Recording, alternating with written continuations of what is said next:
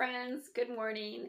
So today I wanted to do a little bit of harvesting. I want to harvest my spearmint and then I want to dry it. But before I do that, I wanted to give you an update on our fermented honey.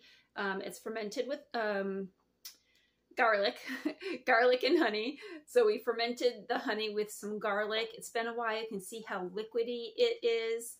And I've been taking it for the past week and I want to see um, just how good this works this winter. Hopefully I'm not going to get sick this winter. I usually don't get sick. I'm usually pretty healthy. So what I've been doing is just taking a teaspoon full of this. See how liquidy? It's like, you know how uh, honey is usually really thick, but this is nice and thin. Whew. It's got a garlicky and honey taste to it. It, you, it tastes like you would think it would taste. So I've been taking a teaspoon a day and it's supposed to really help to keep your immune system up. And I think in this day and age, that's a good thing. But let's go out to the garden and harvest some spearmint. Okay, this is the spearmint. Um, as you can see, some of it is going to seed, which is fine. That's fine because we'll, we're going to leave some for the bees. But there's still a lot of spearmint here. Look how bushy this is. And I actually bought the spearmint from Walmart in the produce section. And I just planted it outside and it has really taken off and I wanted to come out here and harvest this before it all goes to seed.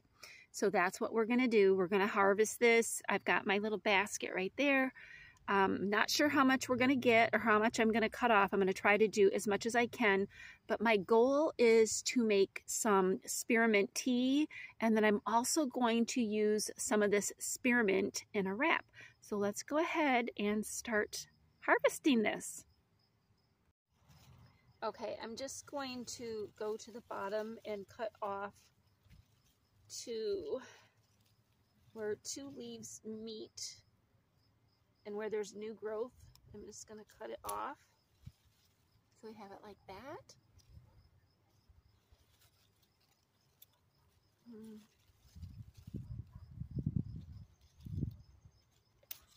It's nice and bushy. Oh, it's very bushy.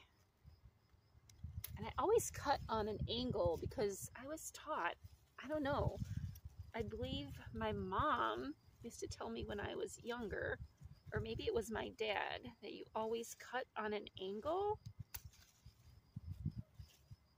Oh, there's so much here. Um, apparently we can harvest, I'm going to leave that one, we can harvest um, like every six weeks or so. But this is the first time I'm harvesting uh, this mint. And next year, after I dry this, and I this is the first time I'm doing this, everything I'm doing this year is pretty much the first time I'm doing it ever. And that's because this is a learning experience for me. It's it's new. So you are learning with me. This we're doing this together. Uh, I'm not doing this by myself. You're here with me, learning with me.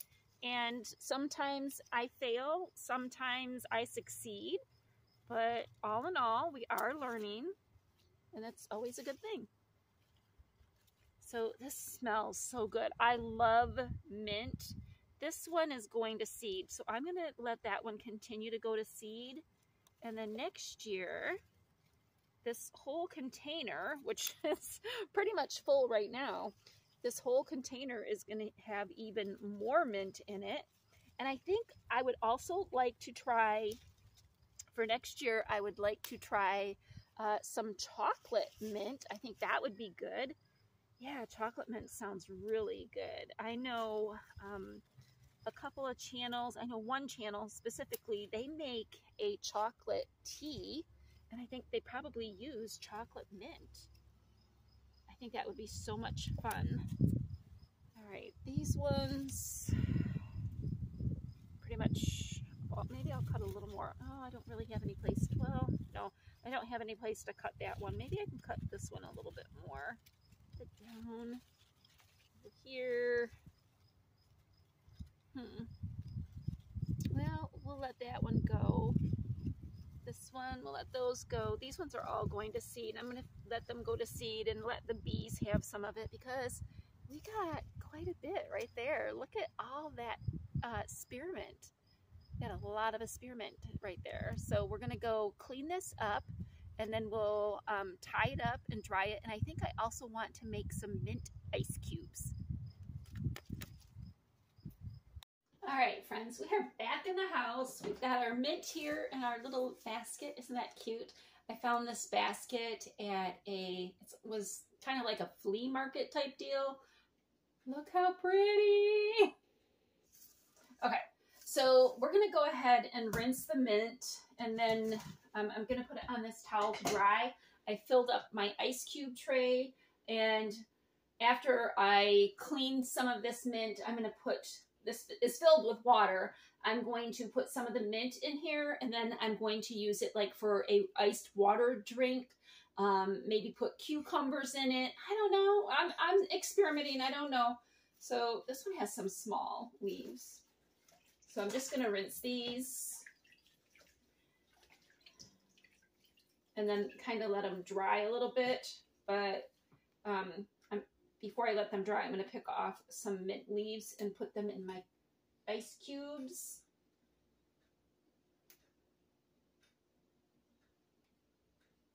These little ones work perfect. Work perfect. Uh, see, the ones that I'm putting in are about this size right here.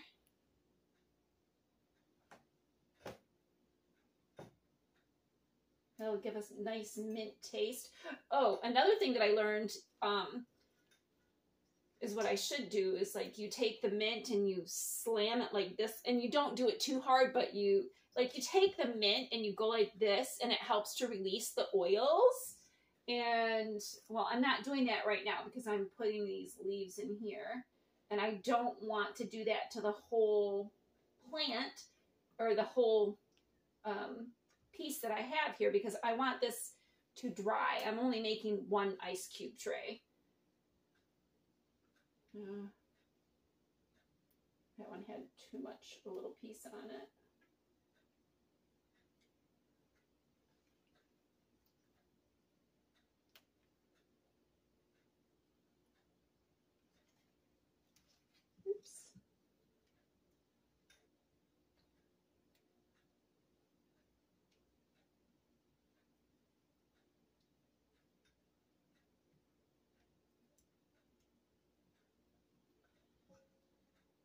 It's a nice big piece. And this one. Okay, I'm going to put my ice cube tray in the freezer and let this mint cubes freeze. So I'll have mint ice cubes. All right, let's get the rest of these washed. got quite a bit. I'm really surprised. Actually, I shouldn't be surprised because this is the first time I harvested this mint all year. Oh my gosh, it just smells so good. smell. It's a good thing I like mint. I like spearmint. I like winter mint. I, I love all mint pretty much. Peppermint patties, like the peppermint junior mints. Those are my favorite kind of candies now. I mean, I can't eat the peanut butter, uh, uh, Reese's peanut butter anymore, or Reese Pieces. But it's okay. I will live. All right, I'm going to put these on this towel. They will continue drying, and then I will show you what I'm going to do to um, harvest them so they will dry out for the next couple of weeks. Okay, friends, we are back. The spearmint is as dry as it's going to get because we are going to start um, tying it up now. I just took two um, mint sections and I'm tying it together. I have uh, one, two, three, four, five, six different, I'll have six different ones.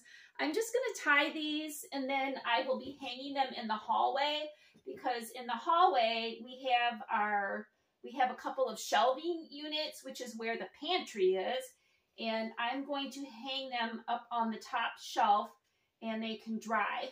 So I'm just going to hang them up there like this because it's nice and cool and dry in the hallway. It's the coolest room in the house because nobody lives in the hallway. So I'm going to do that. So again, we put some mint and ice cubes. We're going to dry them like this and I will be able to use it for tea. Or I do have a dehydrator. You can also put them in the dehydrator, but I'm not so crazy about my dehydrator. Um, I plan on getting a different one as soon as I can. But for now, this is what we are going to do. We're just going to hang them like this in the hallway. So on that note, I'm going to go ahead and end this video. Thank you so much for watching. If you have any helpful tips or suggestions, we would love to hear them. And I will see you next time. Thank you so much for watching. Bye.